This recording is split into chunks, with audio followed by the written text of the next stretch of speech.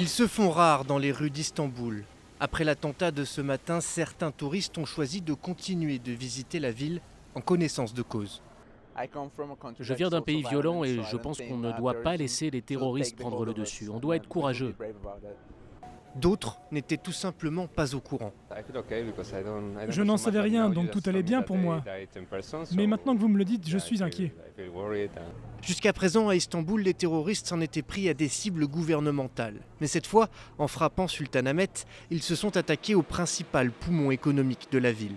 La mosquée bleue, Sainte-Sophie ou encore la citerne basilique, chaque année, plus de 10 millions d'étrangers fréquentent les vestiges de l'Empire ottoman des touristes que les professionnels craignent de voir disparaître. Tous les musées sont à côté, je veux dire. Euh, je, sais que cette, saison, c'est fini pour moi. Je suis prêt à trouver, euh, à chercher un autre travail en dehors du tourisme. Ce soir, le ministère des Affaires étrangères recommande aux Français de se tenir à l'écart des bâtiments officiels à Istanbul.